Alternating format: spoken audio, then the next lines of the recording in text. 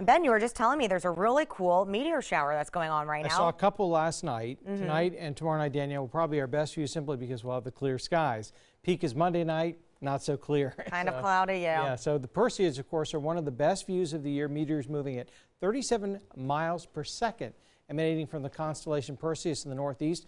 But you just focus your view straight up. If you can get especially into a dark sky away from city lights, shooting stars are pieces of debris from a comet that burns up in our upper atmosphere, emitting streaks of light. But allow about 20 minutes for your eyes to adjust to the dark skies. So we'll keep our fingers crossed. Uh, this is the radiance, so that's where uh, the meteor shower originates from. But our other concern will be a fairly bright moon, so that has a washing out effect. But I think we're still going to be okay in terms of seeing some of the meteors. But other parts of the country and parts of the Midwest, not so lucky. I think it's going to be too cloudy the next couple of days to the north and west of the Buckeye State, even northern Ohio. Patchy clouds for us.